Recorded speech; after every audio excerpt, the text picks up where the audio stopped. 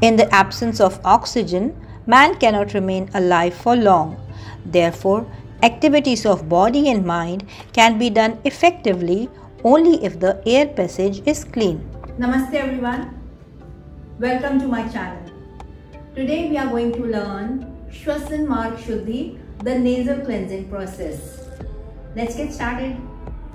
A process is similar to sneezing or blowing the nose. This process is done consciously, systematically and in a disciplined manner.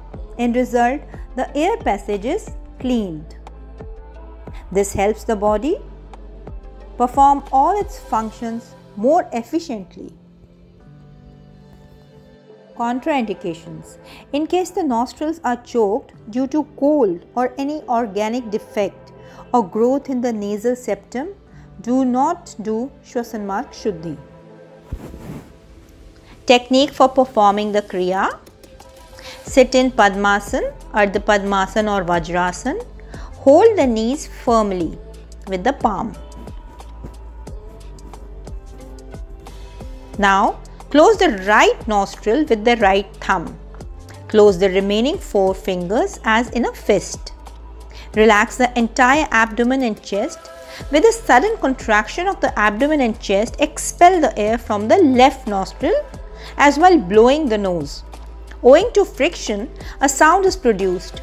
The passage for the expulsion of the air should be kept free and not constricted. Next, immediately relax the abdomen and chest and let the air come in by itself. Again, with a sudden contraction, breathe out as before. With the relaxation of the abdomen and the chest, let the air come in by itself. Repeat this procedure 5 to 10 times. Next, closing the left nostril with the left thumb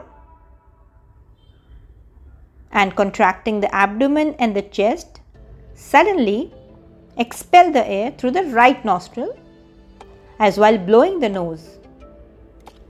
Allow the air to come in by relaxing the abdomen and chest.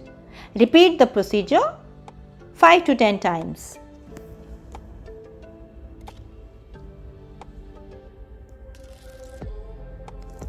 Keep your eyes closed. Fix the attention on the expulsion of the air during the sudden contraction of the abdomen. Keep the mouth closed in this process, breathing out is active while breathing in is passive. Now keep both the hands on the knees as in the starting position. Keep both the nostrils free. Expel the air through both the nostrils. Repeat this operation 5 to 10 times.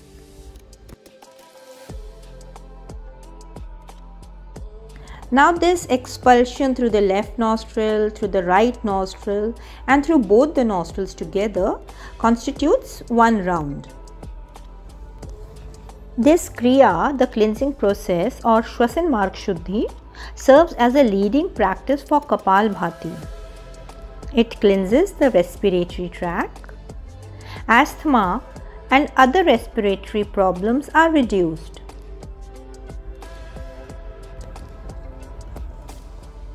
Thank you.